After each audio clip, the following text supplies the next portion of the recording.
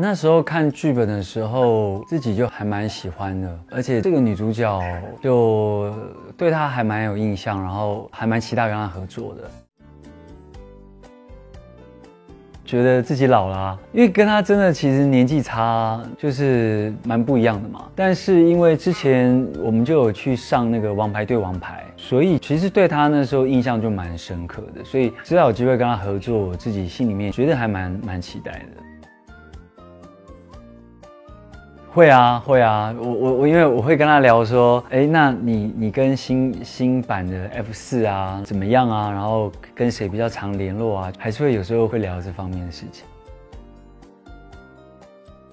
我觉得都有自己的特色，因为我这一次说实在话，我自己觉得我很开心，我有这个机会可以跟沈月合作，因为跟他合作这中间两三个月，我自己觉得我学到很多。他是一个很自然的演员，然后他的情绪真的每每次跟他演一些有情绪的戏的时候，他都还蛮让我惊艳的。然后你知道，就是你演员最幸运的事，就是你可以遇到很好的对手，这种东西有时候是互相一起加分嘛。当他进入那个角色的时候，我自己。后来拍完这部戏，我自己都很有感觉，所以我其实还蛮期待看到这部戏播出的。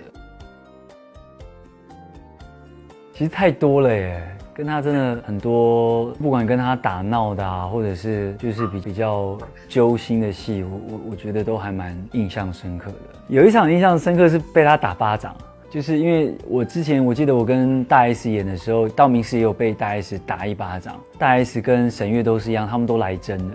就是直接很用力的，就是打在我脸上，所以那个当下，嗯，情绪非常好。